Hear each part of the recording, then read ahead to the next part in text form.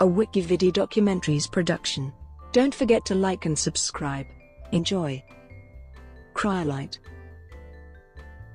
Cryolite is an uncommon mineral identified with the once large deposit at Ivigtût on the west coast of Greenland.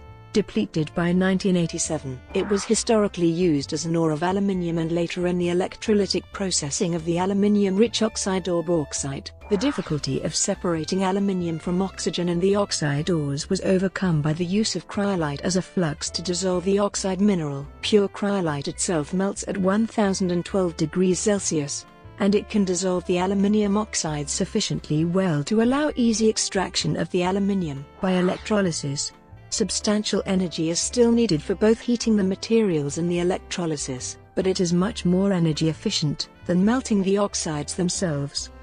As natural cryolite is too rare to be used for this purpose, synthetic sodium aluminium fluoride is produced. From the common mineral fluorite, cryolite occurs as glassy, colorless, white reddish to gray-black prismatic monoclinic crystals. It has a Mohs hardness of 2.5 to 3 and a specific gravity of about 2.95 to 3.0. It is translucent to transparent with a very low refractive index of about 1.34, which is very close to that of water. Thus if immersed in water, cryolite becomes essentially invisible. Cryolite has also been reported at Pikes Peak, Colorado, Montana St. Hilaire, Quebec, and at Miass, Russia. It is also known in small quantities in Brazil, the Czech Republic, Namibia, Norway, Ukraine, and several American states. Cryolite was first described in 1798 by Danish veterinarian and physician Peder Christian Abildgaard. It was obtained from a deposit of it in Ivigtût and nearby Arsuk Fjord, southwest Greenland. The name is derived from the Greek language words kappa rho upsilon omicron sigma ice and lambda iota theta omicron sigma stone.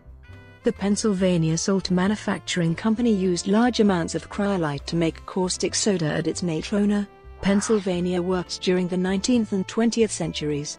Due to its rarity it is possibly the only mineral on Earth ever to be mined to commercial extinction. Uses Cryolite is used as an insecticide and a pesticide. It is also used to give fireworks a yellow color. Molten cryolite is used as a solvent for aluminium oxide in the Hall-Héroult process, used in the refining of aluminium. It decreases the melting point of molten aluminium oxide to 1000 degrees Celsius from 2000-2500 degrees Celsius. Thus cryolite makes the extraction of aluminium profitable. Fluorspar is also added to the mixture. Brought to you by Wikividi Documentaries. Would you like to know more?